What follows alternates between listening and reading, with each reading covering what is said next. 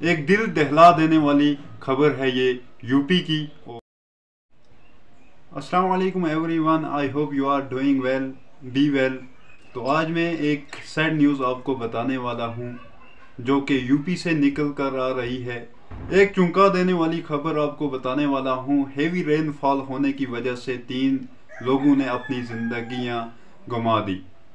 आज हम बात करते हैं यूपी की। यूपी में रेनफॉल की वजह से बहुत सी ऐसी ज़िंदगियाँ हैं जो लुकम अजर बन गई।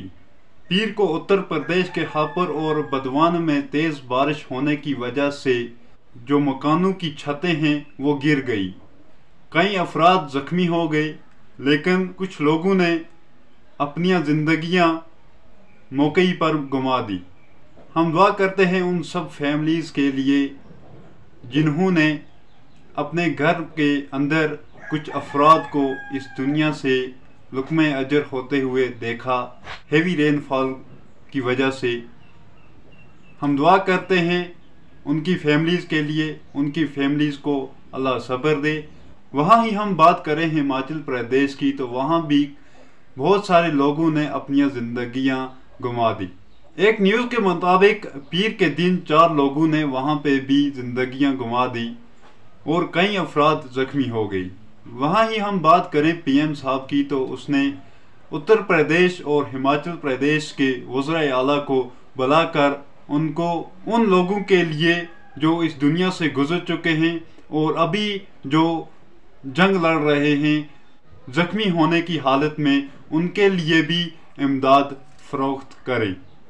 जिस तरह की उनको मदद चाहिए होगी, उन तक पहुंचाएँ। जो एनडीआरएफ की और फौज की टीमें हैं, वो भी वहाँ पे पहुँची हैं लोगों की मदद के लिए, ताकि लोग जो हैं, अपनी ज़िंदगी और मौत के अंदर जो जिंदगियाँ लड़ रही हैं, ताकि उनको बचाया जा सके। एक दिल दहला देने वाली खबर है ये यूपी की और हिमाचल प्रदेश की। कई ऐसे स्टेटस हैं जहाँ के लिए रेड अलर्ट्स जारी कर दिए गए हैं, और कई ऐसी जगह हैं, इस वजह से वहाँ के लिए रेड अलर्ट्स कर दिए गए हैं क्योंकि वहाँ पे ज़्यादा बारिशें होने का, ज़्यादा वहाँ पे जाने जाने का खतरा है, जहाँ पे बारिशें हो रही हैं, जहाँ पे तेज़ बारिशें हो रही हैं। हम दुआ करते हैं जहाँ पे भी ज़्यादा बारिशें हुई हैं, जहाँ पे भी सैलाब आने का खतरा है, अल्लाह उन, वहाँ पे सब लोगों को हिफाजत में रखे और वहाँ पे उन लोगों की जाने जाने से बचाए रखे। इनशाला फिर नेक्स्ट अपडेट में मिलते हैं। टिल दिन खुदा हाफिज़। Thank you so much for watching this video